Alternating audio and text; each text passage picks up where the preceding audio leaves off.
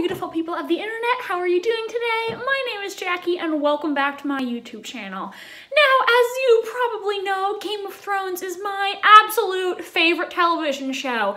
However, there are problems that come with adapting a book series as expansive as A Song of Ice and Fire into a television show, and that means some information is not conveyed in the television show as best as it could be. The first time I was watching Game of Thrones, there were some things that confused me. Like, for instance, oh, okay, Jon Snow's last name is Snow because he's a bastard. Oh, and so is Ramsay's. So does that mean every bastard has the last name Snow? Oh, wait, it differs depending on what region the bastard was born in? Oh, I didn't realize.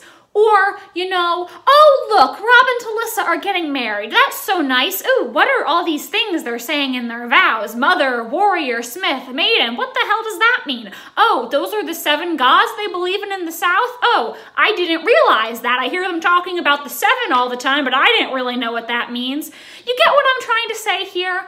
One thing that really threw me for a loop when I was reading the book series for the first time is that the Baratheons and the Targaryens are actually related to each other. I mean, you think it would have come up on the TV show that Robert Baratheon and Rhaegar Targaryen were actually cousins. I mean, come on, that's like, what?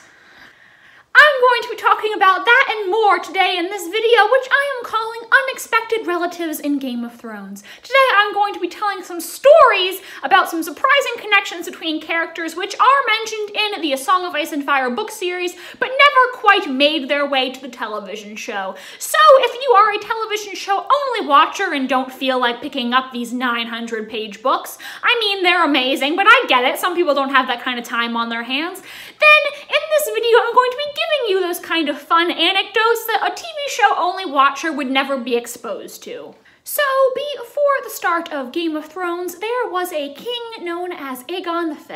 He was the younger brother of Maester Aemon, known as Aegon the Unlikely because he had three older brothers who all came before him in the line of succession and he ended up becoming king. That isn't really relevant to this video, so we won't go into that. Now, Aegon and his wife Betha Blackwood had several children. There was Prince Duncan, who was the heir apparent. Then there was Jaehaerys, his sister Shaera, another brother Daeron, and a younger sister Raelle. Now, Aegon arranged all these betrothals for his children, but a lot of them ended up deciding they didn't want to go through with the betrothals their father had arranged.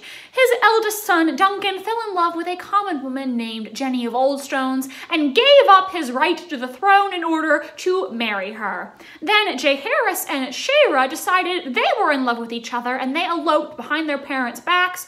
By the time Aegon found out, they had already consummated and there was nothing that he could do. In the text, it is heavily implied that Daeron was gay, so he decided he didn't want to go through with his betrothal either. Quick side note, the woman that he was betrothed to was a lady known as Olenna Redwine, who later ended up becoming the woman we know as Olenna Tyrell, the Queen of Thorns. So that leaves the youngest sister, Raelle. and Raelle was the only one of the siblings who didn't get to choose her husband. She ended up marrying a guy named Ormond Baratheon because the Baratheons felt spurned since Duncan had broken his betrothal to a Baratheon girl, so Raelle ended up marrying a Baratheon instead. We don't know what her relationship with Ormond was exactly like, but we do know they had one son together, Stefan. Meanwhile, Raelle's married siblings, Jaehaerys and Shaera, had two children, Aerys Targaryen and Rhaella Targaryen.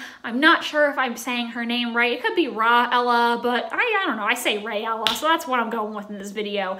But Aerys Targaryen is the person who we know as the Mad King. So Aerys was cousins with Raelle's son, Stefan. Now, while you may not know who Stefan Baratheon is, you definitely know his children. He married a woman named Cassana Estermont, and before the two of them died in a shipwreck, they had three sons together, Robert, Stannis, and Renly. This is how the Baratheons and the Targaryens are related. Obviously, Aerys and Ra Rhaella had three children together, Rhaegar, Viserys, and Daenerys. So that means Rhaegar, Viserys, and Daenerys are second cousins with Robert, Stannis, and Renly, since their respective sets of parents were first cousins. So this means Jon is actually related to the Baratheons too, since his biological father was Rhaegar Targaryen, though he is a little more distantly related to them. Robert, Stannis, and Renly would have been Jon's second cousins once removed, since Jon's biological father was their second cousin,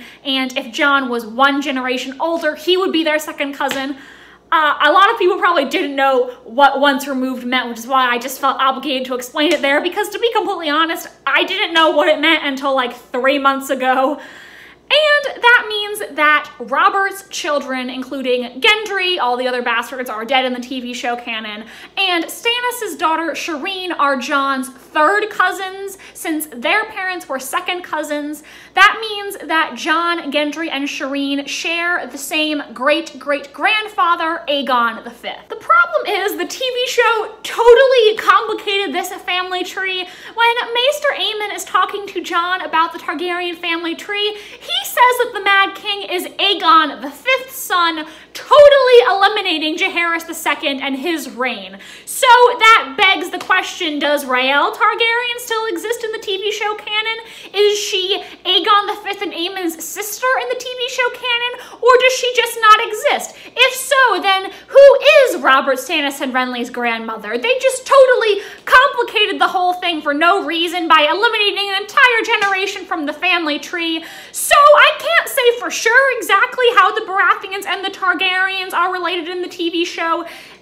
Are related at all, D&D just made a whole mess of things by eliminating Jaehaerys, and I just... I just don't want to deal with that right now. I don't have the energy. Now, something that is mentioned in the TV show is that the Starks and the Karstarks are related to each other. However, my memory, it is never explained exactly how they are related. So today in this video, I figured I would tell you guys the origin story of House Karstark to let you know how they are distantly related to the Stark family. Basically, many, many years ago, one of the kings in the north, we don't know which one, had a younger son named Karlon. Now, Karlon was not his heir because he had at least one older brother in, in front of him in the line of succession. However, one day, Karlon went out and put down a rebel lord. His father was so impressed that he decided he was going to give Karlon his own castle and lands to rule. This castle became known as Karl's Hold, and Karlon Stark ruled it as its very first lord. However, over time, the name of this castle was shortened to simply Karhold. Now, usually when a house has a cadet branch, their castle is used to differentiate them. For example, the Lannisters have a cadet branch known as the Lannisters of Lannisport, since they don't live in Casterly Rock like the main branch of the Lannister family, they live in Lannisport. However, over time, instead of referring to the family that lived in Karhold as the Starks of Karhold, it all got shortened together to form the name Karstark. And this became the modern day House Karstark as we know it. So the Starks and the Karstarks are related to each other, however, they are many, many generations removed, so it's not like they are going to be close cousins or anything. They do share blood, but that was many years ago. Finally, in this video, I want to discuss House Florent.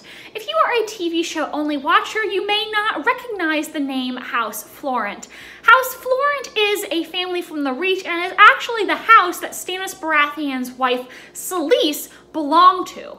Florent is also the house of Melessa Tarly, Samwell Tarly's mother. Selyse, Stannis' wife, and Melessa, Sam's mother, were actually first cousins. So because Selyse and Melessa are related, that means not only was Shireen Baratheon third cousins with Jon Snow, she is also second cousins with Samwell Tarly since their parents were cousins. However, the family connections with House Florent do not stop there. Samwell Tarly also has an aunt whose name is Rhea Florent. Now, she married a man named Leyton Hightower. Leyton Hightower had many children, including a daughter named Alerie Hightower. She married a man whose name you will recognize from the TV show Mace Tyrell. That means Alerie Hightower is the mother of Margaery and Loras, as well as two more sons who are only in the books, Willas and Garlan, It is not clear who Alerie's mother was, if she is Rhea's daughter or not. I'm inclined to say no because it says on the World of Ice and Fire Ricky that she was Rhea was Leyton Hightower's fourth wife and significantly younger, but that means that the Tyrells and the Tarlys are somewhat related through marriage, but not related by blood. And remember how I said that Leyton Hightower had a whole bunch of children? Well, he had another daughter, Alerie's sister, whose name was Lynesse. Lynesse was a beautiful young girl from Old Town with expensive taste, and at a tourney, Jorah Mormont fell for her. They were married very quickly after the tourney, and she became his second wife. This is why in the show Jorah Mormont ends up selling poachers into slavery way before the events of the TV show because he wanted to buy things for his wife since she had very expensive taste. So this means that Jorah is actually related to Margaery and Loras, but only through his marriage to their aunt. They share no blood relation, and Jorah didn't have any children with Lynesse, so Margaery and Loras don't have any blood relatives in the Mormont family. So guys, that is it for this video today. Let me know which one of these unexpected relations do you find the most surprising? Are there any other unexpected relatives from the book series that I forgot to mention in this video? Let me know down in the comments. Please like this video if you enjoyed and let me know if you would like me to make more videos like this in the future. Thank you so much for watching this video and I hope you have a great rest of your day. Bye! See you next time.